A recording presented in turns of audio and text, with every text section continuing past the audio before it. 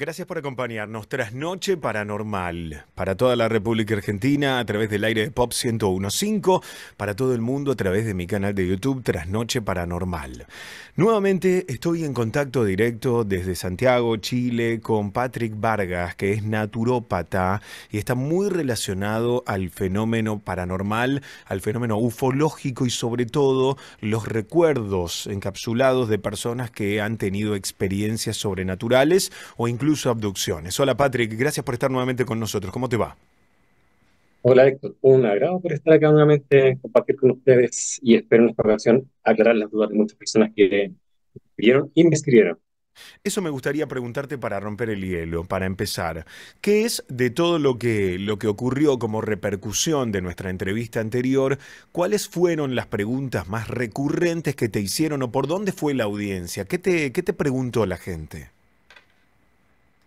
Principalmente vieron la posibilidad de que situaciones que se han dado como cotidianas en muchas familias del, del índole paranormal, dieron cuenta que existía esta ventana o esta posibilidad de dar solución al acoso, al acecho y al, y al temor y miedo que generan situaciones que están viviendo muchas personas. Igual que tú te has dado cuenta que eh, el tema de las abducciones, contacto con otras entidades se ha hecho muy común, están dando testimonio al respecto.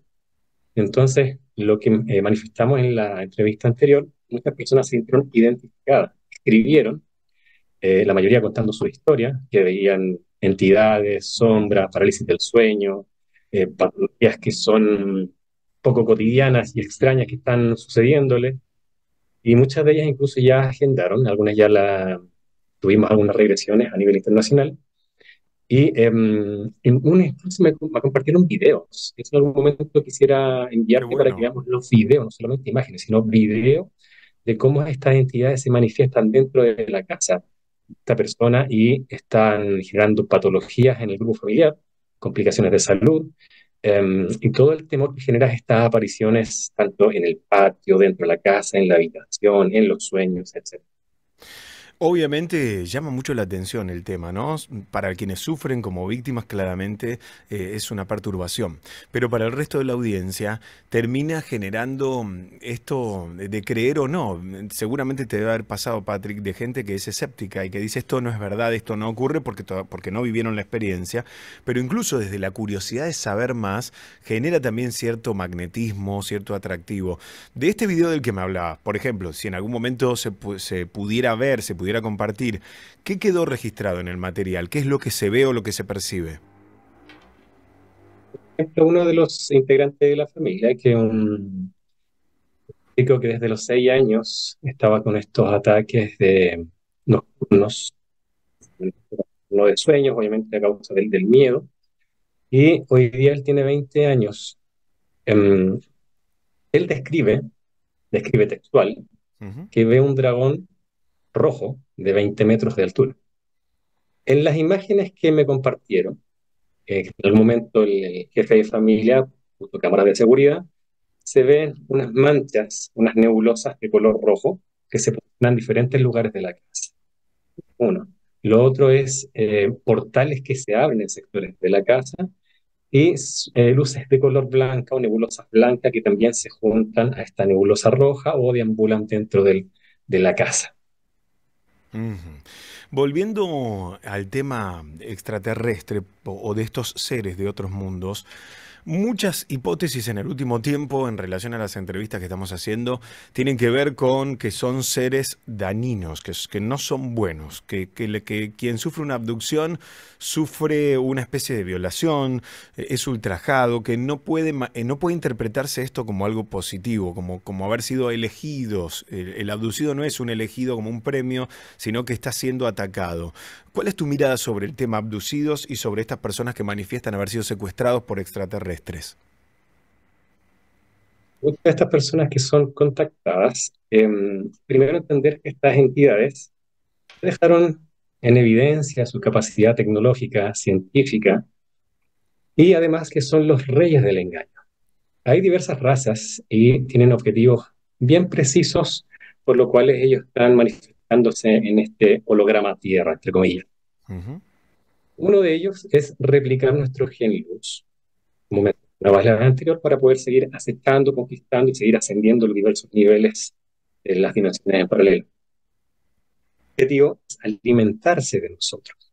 Dentro de los engaños que, utilizan, o estrategias que utilizan estas entidades para poder que demos el consentimiento, ¿ya? ellos siempre buscan el consentimiento de forma directa o indirecta. Y uno de ellos, por ejemplo, es que te dicen, no, es que nosotros te vamos a curar, te vamos a sanar, estamos estudiando justamente para hacerle un bien a la humanidad.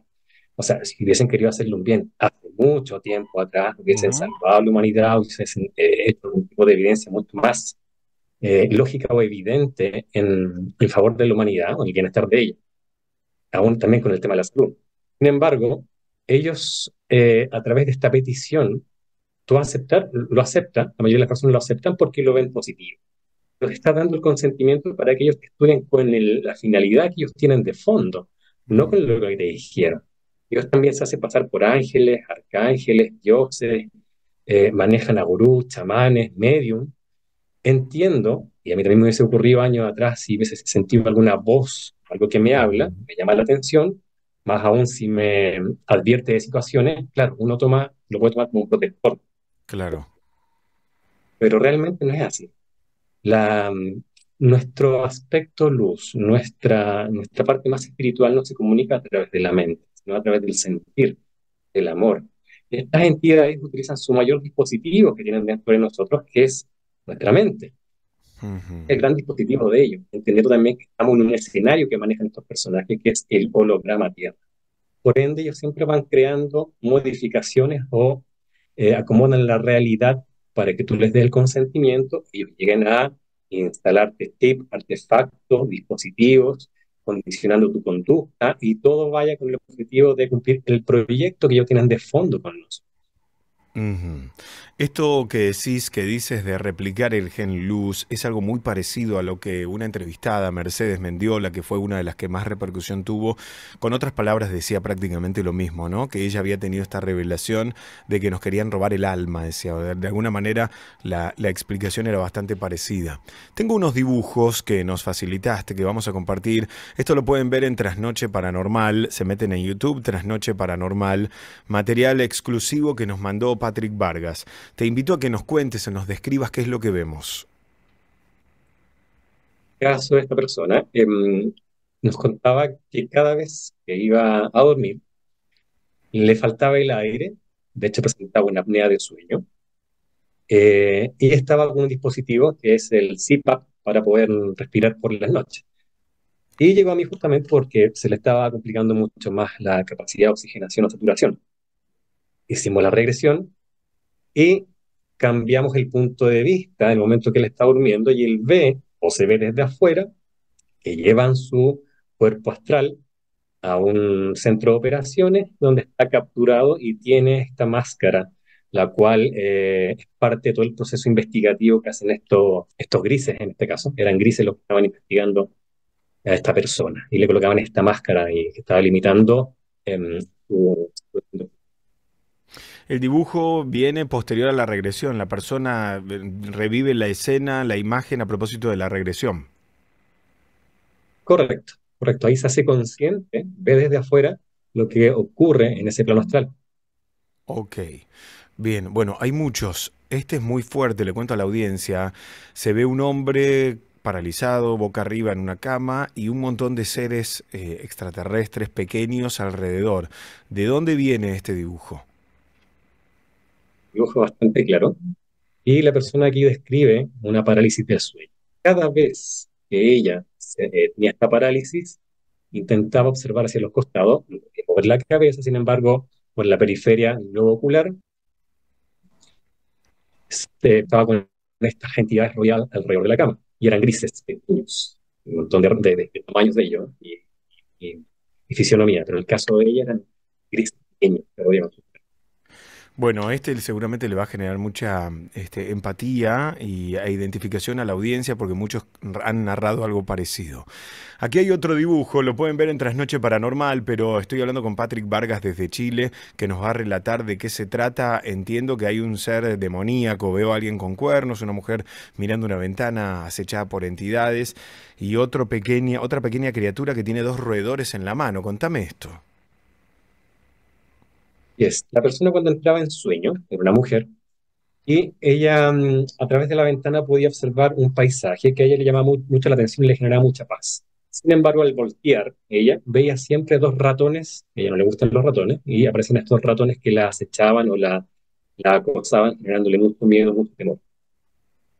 En trances, fuimos a ese evento, cambiamos el ángulo de la visión, donde ella pudo observar eh, qué es lo que estaba ocurriendo realmente estas dos ratas eran manejadas por este tipo duende que está ahí, ya que es otra entidad. Y esa entidad, tipo duende, era controlada por el reptil que aparece más abajo en el dibujo.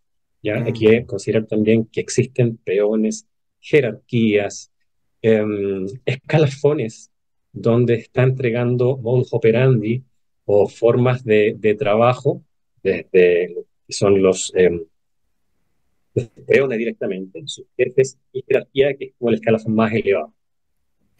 Bueno, es impresionante este dibujo, ¿eh? hay más. Estamos compartiendo con ustedes en Noche Paranormal.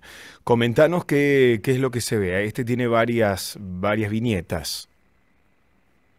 Sí, en este caso, Fernando, quien fue el canalizador, que viajó la línea de tiempo, es la persona que consultó. En este caso en particular, porque hay personas que no entran en trance, por ende utilizamos una auxiliar. Y aquí eh, Fernando intentó hacer un cómic resumiendo la historia. Si partimos desde arriba, esta persona describía que cuando llegaba a su casa, se iba a acostar, sentía que le comprimían el pecho y que se ahogaba y pinchazos en sus piernas. En trance, bueno, que es lo que tiene que ver con el primer dibujo arriba a la izquierda, a ella se le colocaba un corset, unas entidades grises colocaban este corsé, la comprimían y colocaban estos cables eh, en sus piernas, haciéndoles una especie de transfusión, eh, con el fin principalmente de obtener su energía. En el dibujo que sigue abajo, hay dos reptiles, esos dos reptiles controlaban a los grises. Los grises eran los peones que se encargaban de colocar estos artefactos. Cuando hicimos el, el proceso de eliminar lo que esta persona ya la habían instalado, lo que se ve mucho más abajo, están saliendo dispositivos y cables desde su boca. Esa es la forma o una de las tantas formas de eliminar estos dispositivos. Arriba, a la derecha, aparece un montículo, una especie de montaña, donde se ve en una jaula el aspecto luz. Este es otro tema que normalmente en, en la disciplina o técnica, conocimiento de la nueva era, es un y algo que se deja de lado, no se habla de esto al respecto, se conoce bastante, que es nuestro aspecto luz. Y la única forma de que estas entidades tienen para acercarse a nosotros es atrapar nuestro aspecto luz. Y ahí ellos pueden acecharnos, hacernos lo que ellos estimen conveniente con, sus proyectos, colocar los dispositivos, asustarnos, eh, complicarnos la vida. Entonces este aspecto luz estaba atrapado en un lugar específico y el que se ve de fondo es este, esta jerarquía que controlaba tanto los reptiles como a los grises. Las dos figuras que se ven al costado son los seres luz que nos acompañan en el proceso de liberación del aspecto luz de la personalidad. Y abajo, el último dibujo, se ve la persona, el aspecto luz liberado, que está de celeste, y en primer plano está la persona que consultó ya con su aspecto luz fusionado y libre y protegiendo. Impresionante, ¿eh? Hay más, uno más. ¿Este de qué se trata, Patrick? Esta persona nos contaba que cada vez, bueno, aparte de cosas que pasaban en su casa, con su hija, con su señora, sonidos, dibujos que aparecían en, la, en las paredes, eh, manchas en los vidrios, sus animalitos mascotas que ladraban un, un sector en la casa. El jefe de casa él describía o nos comentaba que cuando se observaba en el espejo veía aparecer estas figuras, una especie de, de, cabezas de peces con dientes y una, eh, y una mirada bien penetrante. eh, intimidante. La persona me describe así que no, no, no es muy buena para el dibujo, pero es lo que ella trata de reflejar. Estas entidades que aparecen en su espejo. Bueno, sé que tenemos más, pero hoy tengo que empezar a despedirte para volver a hablar con vos, para volver a hablar contigo, porque siempre es muy interesante, para también dejarle el tiempo a la audiencia, a la gente que nos está siguiendo, a dejar sus preguntas al 11 27 84 1073 o acá debajo en los comentarios, porque obviamente hay más material, porque esto va a generar más preguntas y porque efectivamente cada vez que entrevistamos a alguno de los abducidos o en tu caso algún profesional que trata con abducidos, esto genera que más gente se anime a empezar a hablar, se anime a ponerle palabras a eso que por ahora guardó quizá bajo siete llaves y que ni a la familia le contó. Patrick, te quiero agradecer nuevamente el contacto. ¿Cómo hacen para, para encontrarte? ¿Dónde te encuentran? ¿En qué sitio web o de qué manera? La web es bioser.cl. En YouTube, plataforma YouTube, está Patrick Vargas Hipnosis. Ahí me encuentras. En Instagram Bioser Salud Integral. Y por supuesto, dejar a las personas invitadas que sigan preguntando, eh, intento responder a cada una de ellas, y que existe una opción tangible y real para cortar el sometimiento, eliminar a estas bestias o entidades que están aceptando a, a la persona o a la familia. Gracias, Patrick, por estar hoy con nosotros. Te envío un gran abrazo. Un abrazo. Gracias.